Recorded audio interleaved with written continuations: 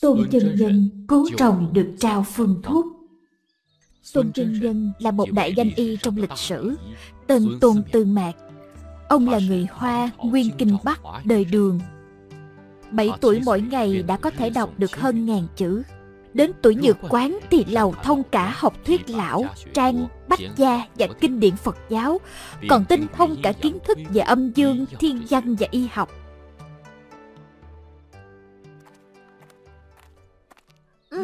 Không khí trong lành quá. Ha ha, bắt được mày rồi. Mau lấy cái cây đập đó đi.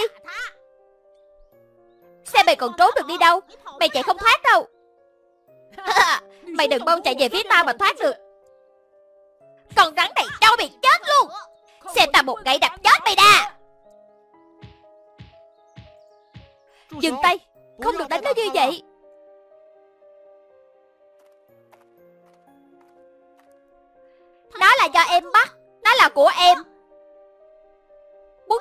là quyền của em. Bắt gì đến anh? Đúng đó Bọn em muốn đánh nó đó. Không được đâu. Em xem con rắn đã đáng thương lắm rồi. Hay là vậy đi Anh sẽ mua lại con rắn này.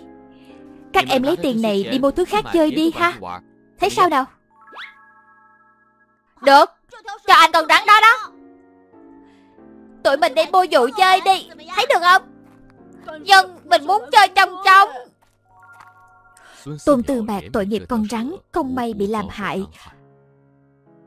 Sau khi chàng mua lại con rắn từ bọn trẻ trong thôn Chàng đã đem nó về nhà để có thể chăm sóc.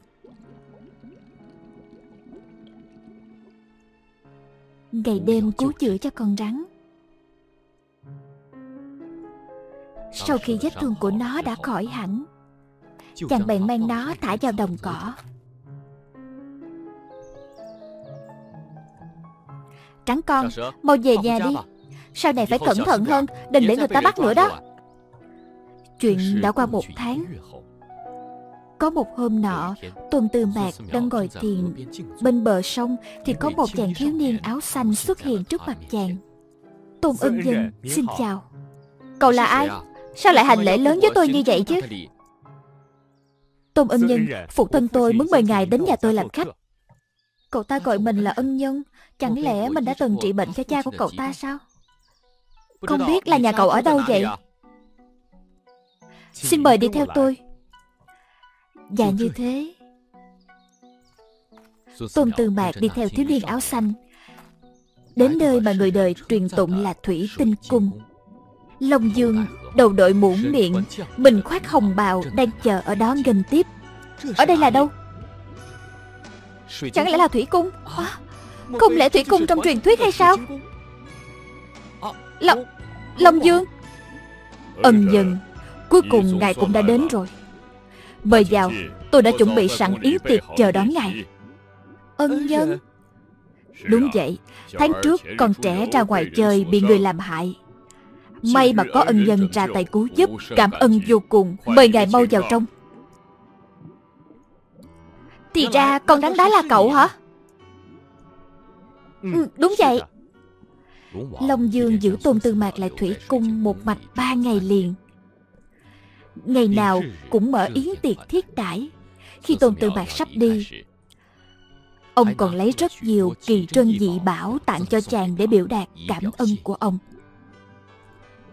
Long Dương Điện Hạ Tôi ở đây đã quấy nhiễu các vị ba ngày rồi cũng đã đến lúc tôi phải về nhà. Nếu ân nhân đã muốn về nhà Thì tôi cũng không miễn cưỡng.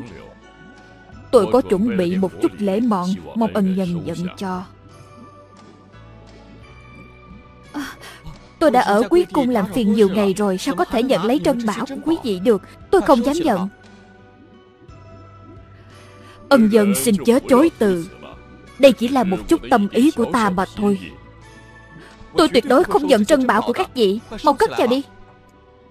Ân nhân, Nếu ngài đã không muốn Lấy những trân bảo này, Vậy ở Long Cung có thứ gì ngài thích Thì ngài cứ lấy đi, Coi như là làm kỷ niệm. Từ lâu đã nghe Long Cung có rất nhiều phương thuốc chữa bệnh, Có thể truyền lại cho tôi để cứu giúp thế nhân, Thế còn đáng giá hơn là vàng bạc châu báu. Long Dương vì cảm tạ ân tình cứu mạng con mình, Nên dân tặng ngọc tráp tam thập lục phương. Còn lệnh cho thuộc hạ hộ tống Tôn Tư Mạc quay về. Ố, Đến nhà rồi. Tôn Tư Mạc đối với 36 phun thuốc Long Dương tặng Lúc nào cũng thí nghiệm đều luôn có kết quả. Thế là chàng soạn nhập vào trong thiên kim phương để lưu truyền nhân gian. Từ đó y thuật càng ngày càng tinh thông Chữa bệnh của người không biết bao nhiêu mà kể. Sau này Tôn Tư Mạc ẩn cư tại núi Thái Bạch tu luyện công phu đạo gia, luyện khí dưỡng thần, chuyên tâm nghiên cứu y thuật, lấy việc cứu người giúp đời làm tâm nguyện. Đến đời đường Cao Tông, năm thứ ba niên hiệu Vĩnh Quy, ngày 15 tháng 2, lúc đó Tôn Từ Mạc đã 102 tuổi. Sáng sớm thức dậy, tắm rửa thay y phục, lưu lại nhục thân hóa thành tiên bay đi. Đã qua mấy tháng, dục thể dung gian vẫn không thay đổi. Lúc đưa thân nhập quan thì thấy nhẹ như không. Người đương thời đều ngạc nhiên ca tụng, thế gian tôn xưng là tôn chân nhân.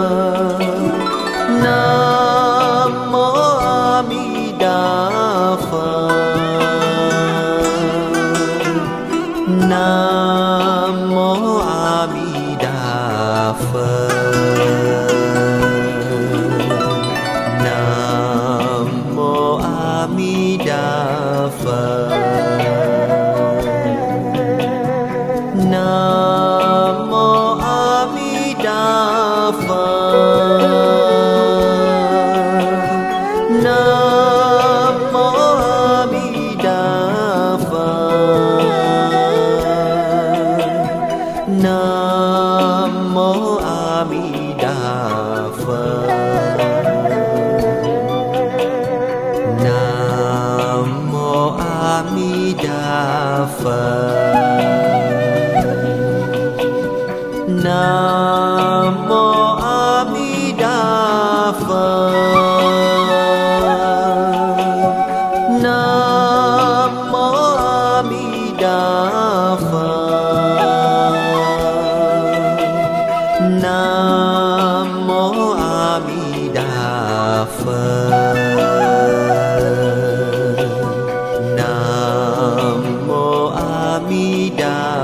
phật.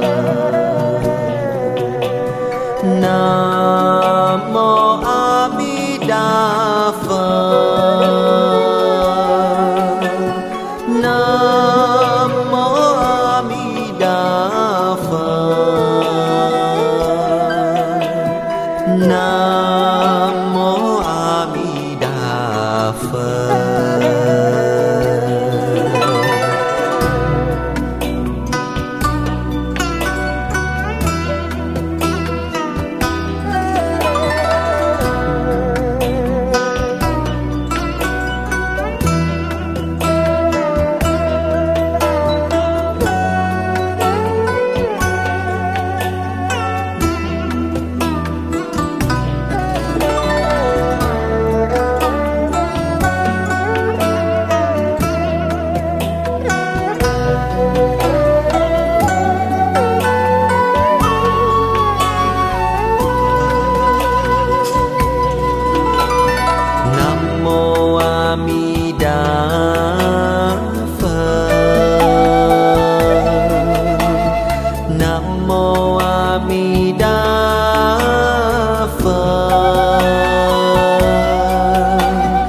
nam mô